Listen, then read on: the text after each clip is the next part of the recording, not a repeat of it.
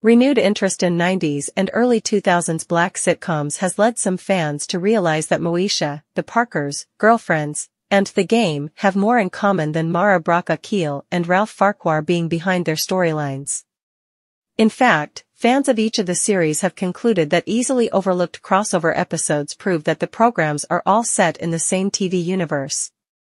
Akil became a staple in creating content for the culture as a writer on Moesha, which ran from 1996 to 2001, and was co-created by Farquhar. Farquhar first used the success of the show to create The Parkers as a spin-off, shining a light on Moesha's friend Kim and her mother Nikki, respectively portrayed by Countess Vaughn and Mo'Nique, from 1999 to 2004.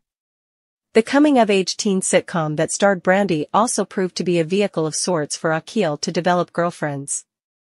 The latter follows a group of four black women of varying degrees of career success navigating life in Los Angeles. Its lead character, Joan Smalls, was portrayed by Tracee Ellis Ross, however, it was character Maya Wilkes, portrayed by actress Golden Brooks, that helped introduce the beloved Sex and the City-esque show to viewers. Wilkes appeared in Moesha Season 6, Episode 15, That's My Mama, as the teen's aunt who lived next door. Why I'm today old not knowing that Girlfriends was connected to Moesha.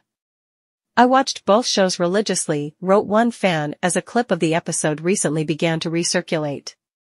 Another person noticed that Wilkes' storyline in the crossover painted her as having a brother, but that detail was abandoned in Girlfriends. It's crazy because Maya was an only child but all of a sudden she had a brother, they wrote.